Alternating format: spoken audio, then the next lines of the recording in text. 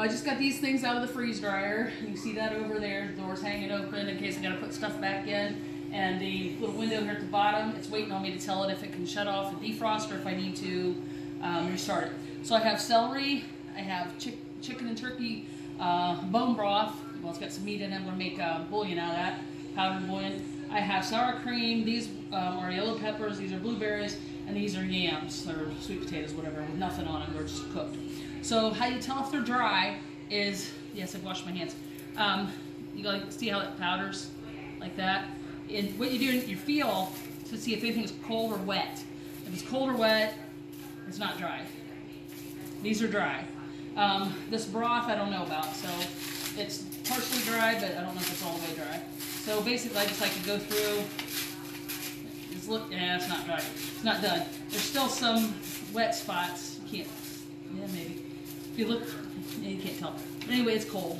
It's cold right there. So that means there's still, yeah, it's really cold there. So that means there's still some moisture in there. So what I'll do is I'll just bust this up one. Like this over here is dry. This part feels dry. Um, but I don't want to take it out until it's all ready to go. Yeah, that's really cold right there. It's still icy. So that's how you tell if it's ready. So this has to go back. This can be bagged up and sealed. And then I have sour cream here. Um, that's that's definitely dry. These were I put them in little cubes and froze them, and then I popped them out here. So I have these little cubes when I need them, so I'm not wasting sour cream. I have yellow peppers, and again, I'm just gonna go through. I throw these into stuff, so I don't care if they're busted up, but you can be gentle with them if you want to. Ooh, boy, you can smell them. Um, those those are dry, and they have blueberries here because they have natural sweetness in it. They can get a kind of a funky color to them where the sugar pops out. Can you see that right there? See how it looks kind of weird? That's because the natural sugar has been come out of it and it's settled of it. But you know, that one's dry. Usually I gotta put these guys back in. Where these were fresh picked by the people over at Pickwick Farm, so I've got some over there. But this, yeah. These feel dry. They're they're popping like like that. So they're still a little sticky where they're from the sugar, but they're they feel dry to me. And then these are the yams or sweet potatoes.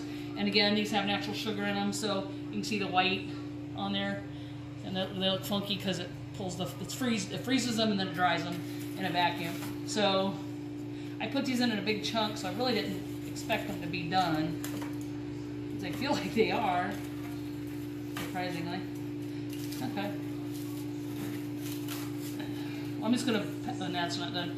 I'm gonna powder these and just put them into like soups and stews and stuff like that, just to get some extra nutrition. Yeah, these are definitely not. Can't. Yeah, maybe you can see. Can you see that there? It's still.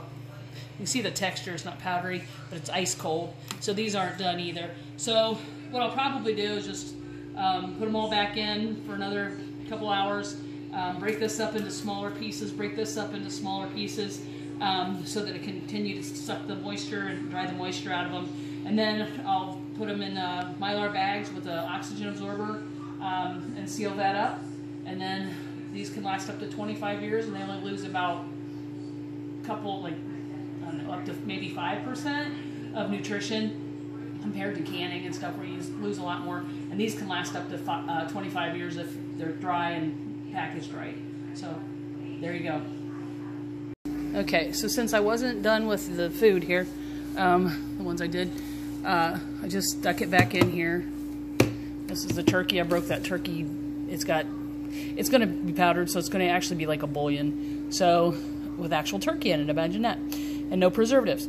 Um, so I broke that up into little pieces so that the ones that are mainly it was in the center that are um, that weren't done, they're still cold.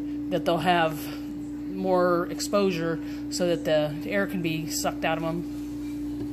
And you can actually see back in there, see that little ice ring straight back in there. That's where it's sucking all the water out of this. But anyway, since I'm not done, that little thing, so it, it's waiting on me. So I don't want, I want more dry time. So because it's not, they're not dry, they're not done yet. So I just put my little, I don't think they come with those pillows anymore, back in there, seal that. There's a drain thing over here. This thing right here. You got to make sure the water, you want that shut or it won't pull a vacuum. So I shut that back up. And then I come over here and hit more dry time. My, that's the, the valve. That was that valve that tells you to shut it. So I did. And then uh, continue. And it, since this has been running for quite a few hours, the wetter stuff is, the longer it takes. And it doesn't take that much electricity either, um, even though it runs a decent amount of time. Um, the wetter the food is, the longer it's going to take. So, um, brain cramp. so in 37 minutes, this, this vacuum pump, it needs to cool down. So that's all connected.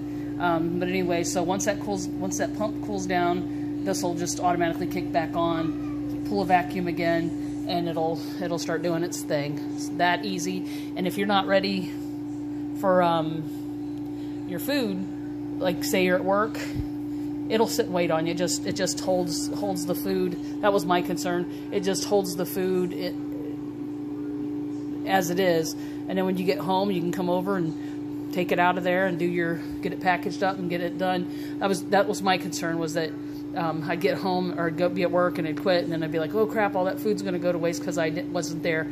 That's not true. They built in Harvest Right has built. They're a great company. They built in a lot of safety issues, I guess, as far as your food goes. So as far as that goes, yeah, I, when I get home, I just turn it off, check it. Then if it's done, just shut everything down and vacuum my food and, or package my food, and we're good to go.